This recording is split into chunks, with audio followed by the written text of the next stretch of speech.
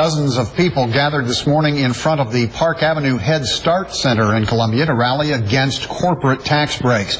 Many federal programs, including Head Start, now feel the strain of sequestration budget cuts. Speakers at this rally urged Senators Blunt and McCaskill to take their to voice their concerns when lawmakers return to Washington in September. Uh, you can't have have it both ways. You can't continue to give tax cuts, tax breaks to the richest, and continue to cut programs that we all count on in the community. The Head Start program has a budget of about $8 billion, of which the cuts will slash 400 million.